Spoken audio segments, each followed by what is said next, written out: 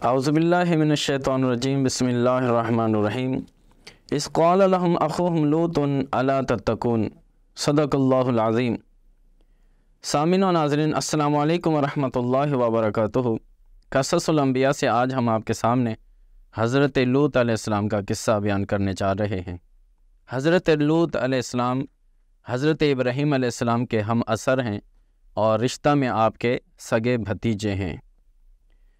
हज़रत लूत अलैहिस्सलाम की कौम बहुत ही ज़्यादा बुराइयों में मुबतला थी और कुरान करीम में हज़रत लूत अलैहिस्सलाम का किस्सा तफसील से मुख्तलिफ़ जगहों पर ज़िक्र है।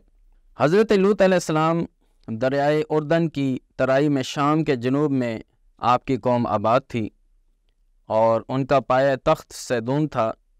आजकल इस इलाके को जार्डन यानी उर्दन ही कहा जाता है। आपकी कौम में जो अखलाकी बीमारियाँ थी, बुराइयाँ थीं, उनमें सबसे बड़ी बुराई ये थी कि वो मर्दों के साथ बदफेली करते थे। इसके अलावा बुत परस्ती डाका जनी कबूतरबाजी, सीटी बजाना, बटेर लड़ाना, पत्थरों से खेलना और गोलियों से खेलना, शराब पीना, म्यूज़िक का इस्तेमाल करना और मेहमानों को घर में जगह न देना, यानी मेहमानों की ज़ियाफ़त ना करना, बल्कि मेहमानों का अदब ना करते थे और मुसाफरों को खाना नहीं खिलाते थे और फहश गोई उनका तरीक़ा था, इसी तरह मस्ती करना, दाढ़ी मंडवाना, सरेआम लोगों के सामने नंगे हो जाना, इस किस्म की बुराइयाँ हज़रत लूत अलैहिस्सलाम की कौम में थी। तो दीगर अम्बिया की तरह हज़रत लूत अलैहिस्सलाम भी अपनी कौम को बहुत ही ज़्यादा तबलीग करते तो बदले में वो तमस्खर उड़ाते, मज़ाक करते और कहना नहीं मानते थे। और बिलखसूस हज़रत लूत अलैहिस्सलाम अपनी कौम को फ़ेल शनी यानी जो लवातत है, मर्द, मर्दों के साथ बदफेली करते थे, उससे बहुत ज़्यादा मना फरमा, फरमाया करते थे। और शुम किस्मत के हज़रत लूत अलैहिस्सलाम तकरीबन 20 साल आपने अपनी कौम को तबलीग की। और बहुत ही ज़्यादा अल्लाह के अजाब से डराया और तोहद की दावत देते रहे। जब लूत अलैहिस्सलाम की परेशानी बढ़ गई तो हज़रत लूत अलैहिस्सलाम के पास अल्लाह के फ़रिश्ते ये पैगाम लेकर आए कि आपकी कौम को अब अजाब दिया जाएगा और इससे कबल हज़रत लूत अलैहिस्सलाम के पास फ़रिश्ते आने से कबल हज़रत इब्राहीम अलैहिस्सलाम की बारगाह में पहुँचे, जिसका तफसली बयान जो है कुरान करीब में मौजूद है। कौम लूद के लोग तो फासिक और फाजिर थे ही, लेकिन शोमी किस्मत के आपकी अहलिया वो भी फासिकों के साथ मुंसलिक हो गई और उन्हीं में से हो गई और उनको ऊपर भी वही अजाब आया जो फासिक लोगों के ऊपर आया। तो लूत अलैहिस्सलाम ने अपनी कौम से मुखातिब होकर फरमाया अलैसमिन कुमराजुल रशीद, क्या तुम में एक भी समझदार आदमी नहीं है जो मेरी बात की तरफ़ इल्तफात करे?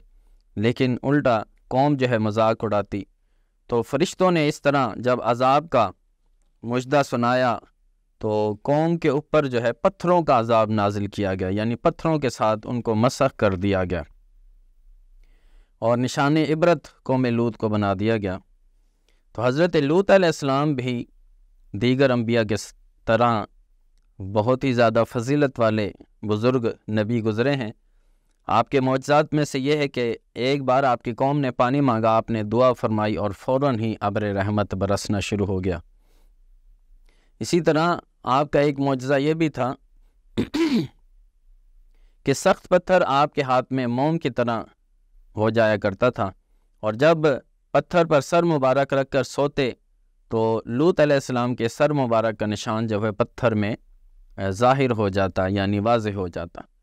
हज़रत लूत आसमाम अपनी कौम से निकल कर अपनी कौम की बस्तियों से निकल कर हज़रत इब्राहीम आसमाम की तरफ़ चले गए और फिर सात साल वहाँ उनके पास ही रहे और उसके बाद आपका इंतकाल हुआ और मज़ार मुबारक हज़रत इब्राहीम आसमाम के पहलू में ही बनाया गया।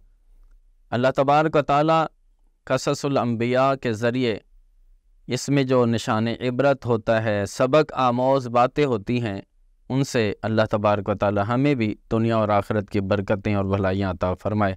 वमा तोफ़ी की बिल्ला वसलम वरहमल वर्का